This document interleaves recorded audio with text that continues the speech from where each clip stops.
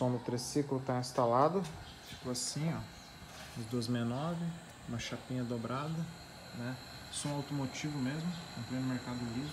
Tanto o som quanto os alto-falantes. Né? Não é marítimo, então é um alto-falante que né, ao longo do tempo ele vai acabar estragando. Mas o marítimo custava sete vezes mais caro, né? O mesmo som, um par de 69 tem. Aí tem um aparelho aqui que eu consigo mexer, né? Eu sento aqui e aí eu mexo no aparelho aqui. Um aparelho simples também, sem CD, sem nada, só Bluetooth. Ficou tudo escondido, a fiação, né? E tem um módulo ali dentro. E aqui ficou o outro alto-falante. Ficou até um visual legal para quem vê assim.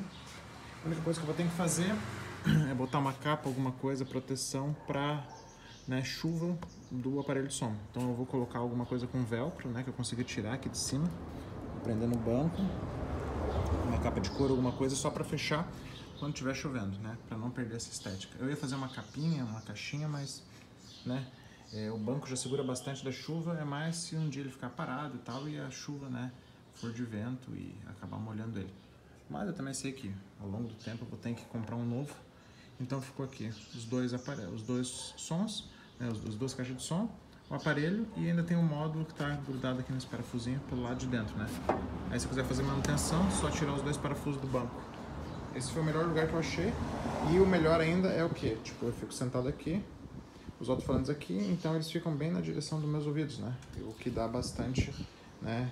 É, qualidade para o som. Eu comprei o som é para eu escutar, não é para aqueles caras que botam som para né, com sub e tal, é mais para mim mesmo. Então fica os dois aqui, ó.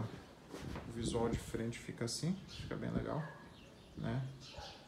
É, a altura ficou boa, a altura do som e a altura né, em relação aqui, ó. E não me atrapalhou em nada, era um espaço que eu tinha perdido do triciclo. E já aproveitando aqui, ó, tá funcionando o marcador de gasolina, ó. Então agora estou só usando o tanque auxiliar, né? Que era auxiliar.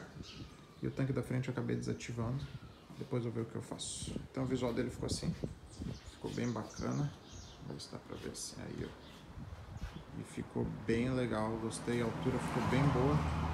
Né? E a questão principalmente né, da estética também. Né? Antes estava tudo meio na gambiarra, agora ficou bonitinho. É isso aí, galera. Então tá aí a dica de som para quem quiser botar um som no triciclo som automotivo, né? Lembrando que esse som não é o som marítimo, que obviamente seria muito melhor, né? Som para lancha, para barco, mas esse aqui é um som normal. Aqui dá para ver bem certinho. Ele é da Bumper, da Bravox, quer dizer. Isso aí.